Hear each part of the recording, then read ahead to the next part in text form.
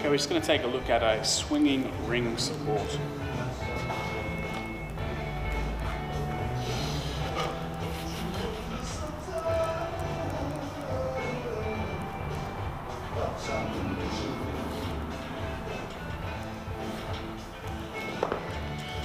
Okay, so make sure the straps are set roughly shoulder width apart. And you notice I started back behind the bar, okay?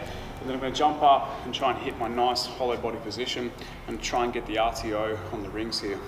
Then I'm just gonna try to keep the eyes on the horizon and try to maintain that nice hollow body shape as I start to swing. The longer the straps, the more the swing's gonna be. The shorter the straps, obviously the less swing you're gonna have. I do prefer to use a, maybe a higher set of rings for this. And again, just set yourself up so you can jump and get the momentum going. The other option is to have a partner and they can push you a little bit like you're on a swing, okay? Obviously not pushing too sharply, but just getting the momentum going and starting to build that ring swing. It's gonna start to work a lot of the stabilization muscles and it's just gonna get you used to being on top of the rings when they're moving around backwards and forwards, okay? Generally do this for a specified period of time. We're gonna make sure the arms stay locked, elbows are locked nice and strong. We wanna be working on the RTO as much as we can. Never let the rings turn in.